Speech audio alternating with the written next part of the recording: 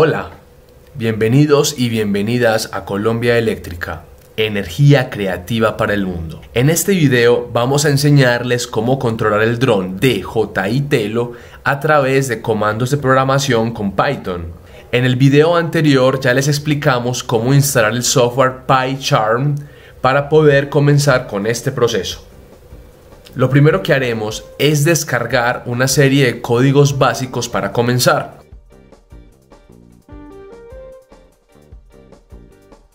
Para ello, vamos a ingresar al perfil de Colombia Eléctrica del repositorio de github.com. El enlace a esta página lo encuentran en la descripción del video. Estando allí, nos dirigimos al botón que dice Code y luego hacemos clic en Download Zip. Aquí hemos descargado un paquete encapsulado en formato zip, el cual se encuentra en la carpeta descargas. Vamos a descomprimir o extraer este archivo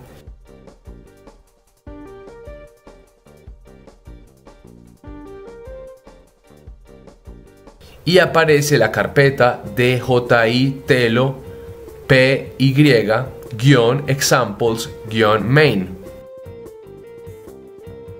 Ingresamos a esta carpeta y copiamos los archivos enumerados del 1 al 6.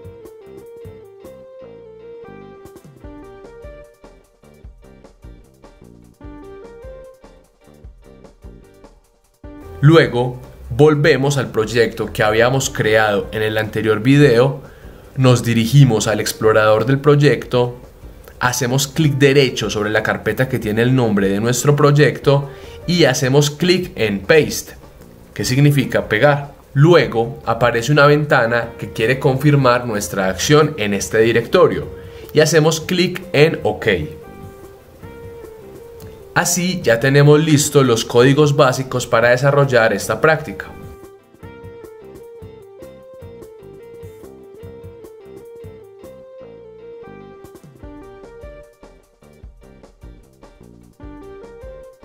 Ahora vamos a cerrar la pestaña del código que viene por defecto llamada main.py. Luego vamos al explorador del proyecto seleccionamos sosteniendo la tecla Shift todos los códigos enumerados del 1 al 6 y luego presionamos la tecla Enter. Ahora ya todos los códigos están desplegados en el área de trabajo para comenzar con las prácticas.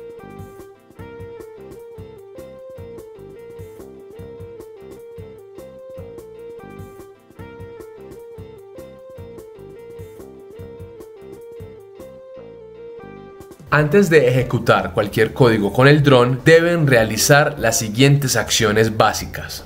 Vamos a poner la batería en el dron. Asegúrense que la batería esté cargada. Estas estrías deben estar apuntando hacia abajo.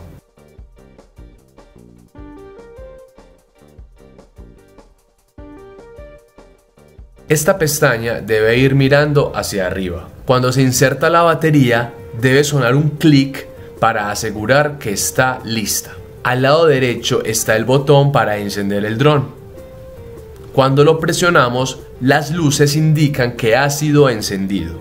Ahora ya es momento de conectar el Wi-Fi del computador con el Wi-Fi del dron.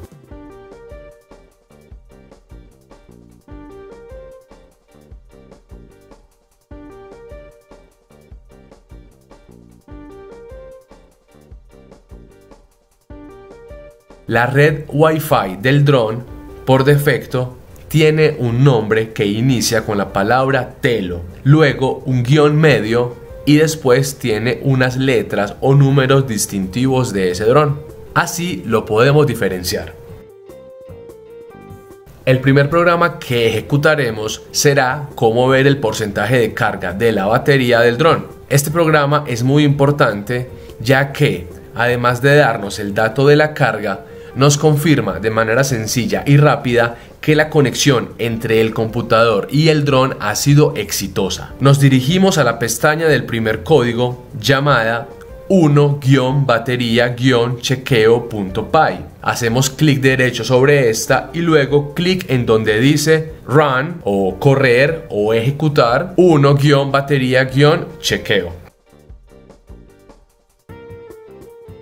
Inmediatamente en la parte inferior de la pantalla se abre una ventana que nos muestra el proceso ejecutado código por código. Si todo se hizo bien, debe aparecer lo mismo que ha salido en nuestra pantalla. Los textos de color rojo indican que ha habido una acción y el texto blanco indica el resultado de esa acción. En nuestro caso ha salido que el porcentaje de carga de nuestra batería es de 81%. Aquí concluye este primer código. La segunda práctica que haremos será que el dron despegue y aterrice inmediatamente. Recuerden verificar siempre, antes de ejecutar cualquier código, que el dron está encendido, que tiene suficiente carga la batería y que el Wi-Fi del computador está conectado al Wi-Fi del dron. Ahora señalamos la pestaña del código llamada 2-take-off.py, que en español traduce despegue. Hacemos clic derecho sobre esta y luego clic en donde dice run 2-take-off. Ahora veamos la ventana de proceso y el video del dron. Podemos ir viendo cómo va ocurriendo cada cosa a la vez de manera sincronizada entre la información mostrada y los movimientos del dron.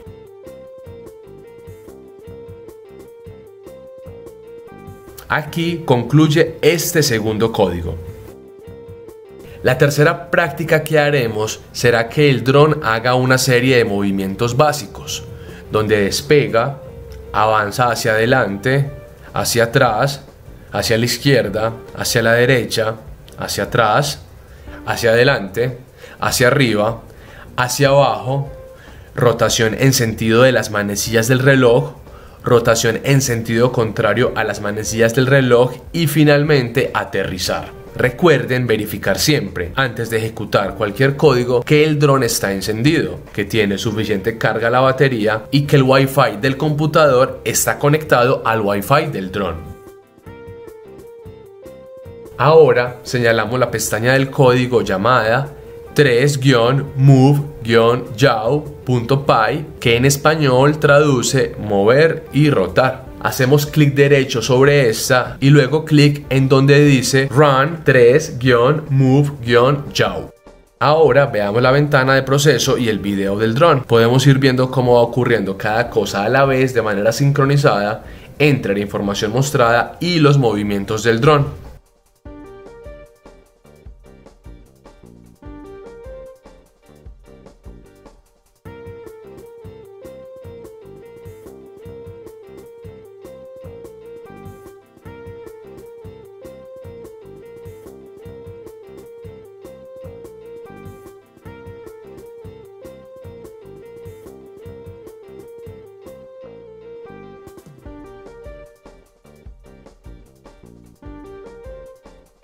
Aquí concluye este tercer código. La cuarta práctica que haremos será en movimientos en diagonales, utilizando planos cartesianos en las tres dimensiones, es decir, largo, ancho y alto, que en lenguajes de máquina es ejes X, Y, Z. Recuerden verificar siempre, antes de ejecutar cualquier código, que el dron está encendido, que tiene suficiente carga la batería y que el Wi-Fi del computador está conectado al Wi-Fi del dron. Ahora señalamos la pestaña del código llamada 4-xyz.py, hacemos clic derecho sobre esta y luego clic en donde dice Run 4-xyz. Ahora veamos la ventana de proceso y el video del dron. Podemos ir viendo cómo va ocurriendo cada cosa a la vez de manera sincronizada entre la información mostrada y los movimientos del dron.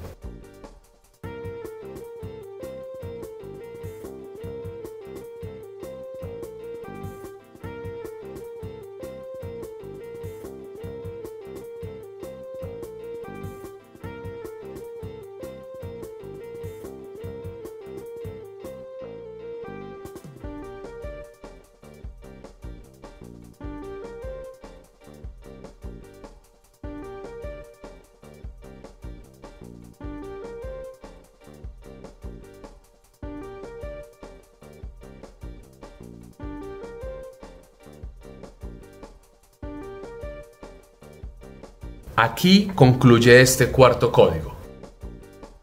La quinta práctica que haremos serán unas maniobras acrobáticas o flips con el dron.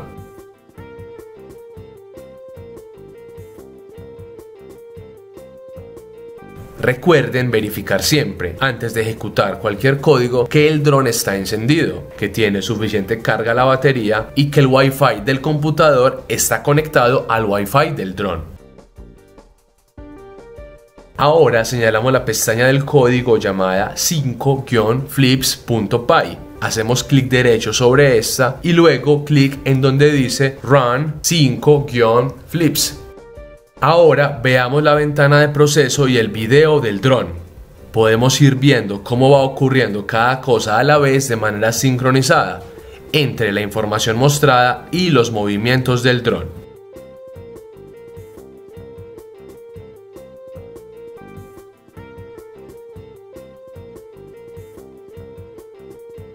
Aquí concluye este quinto código. Importante tener en cuenta lo siguiente respecto a los códigos ejecutados. En la misión 3 Move los parámetros de las funciones de movimiento están dadas en unidades de centímetros y los parámetros de rotación están en unidades de grados. En esta misión podemos ver que el dron hace desplazamientos y retornos de 100 centímetros y luego hace dos giros de 180 grados. Los valores de movimiento pueden asignarse entre menos 500 y 500 centímetros mientras los de rotación entre menos 360 grados y 360 grados.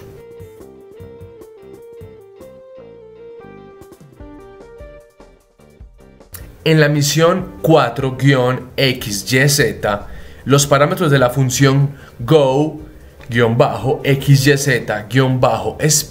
son el primer parámetro es el desplazamiento en x, que equivale a desplazamiento hacia adelante o hacia atrás de acuerdo con el signo positivo o negativo que se le asigne y también está dado en centímetros. Este valor debe estar asignado entre menos 500 y 500 centímetros. El segundo parámetro es el desplazamiento en y, que equivale a desplazamiento hacia la derecha o la izquierda, de acuerdo con el signo positivo o negativo que se le asigne y también está dado en centímetros. Este valor debe estar asignado entre menos 500 y 500 centímetros. El tercer parámetro es el desplazamiento en Z, que equivale a desplazamiento hacia arriba o hacia abajo, de acuerdo con el signo positivo o negativo que se le asigne y también está dado en centímetros. Este valor debe estar asignado entre menos 500 y 500 centímetros. El cuarto parámetro es la velocidad de desplazamiento, la cual está dada en centímetros por segundo. Se le puede asignar una velocidad entre 10 a 100 centímetros por segundo. En la lista de códigos, el último de ellos, llamado 6-landing-emergencia, es un código que se recomienda ejecutar en caso tal de que el dron pierda el control o por alguna razón técnica no obedece el código o por algún factor de iluminación no se encuentra estable, este código puede ser ejecutado durante la misión y tiene la función de darle la orden de que aterrice inmediatamente de manera segura. Por esa razón, recomendamos mantener este código siempre abierto cada vez que se ejecutan misiones donde el dron hará varias maniobras.